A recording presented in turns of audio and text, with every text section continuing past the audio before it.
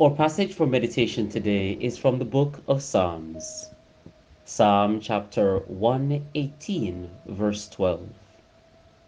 Reading from the New King James Version, it says, They surrounded me like bees, they were quenched like a fire of thorns.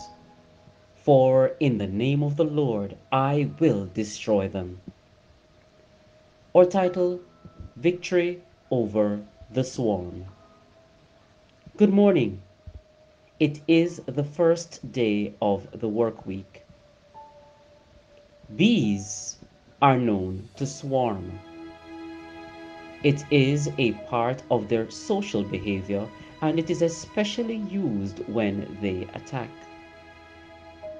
The attacks of the devil often resemble a swarm as he bombards us with threats, animosity, trials, or ill will. The promise affirmed by the psalmist is that the attacks will be handled by God. Even as a dried thorn bush is quickly consumed and extinguished, so will God quench the enemy. As you step out today, be confident that even the swarm of trials are in God's hands.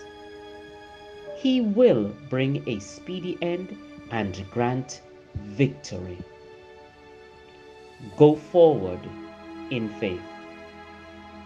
Blessings and love.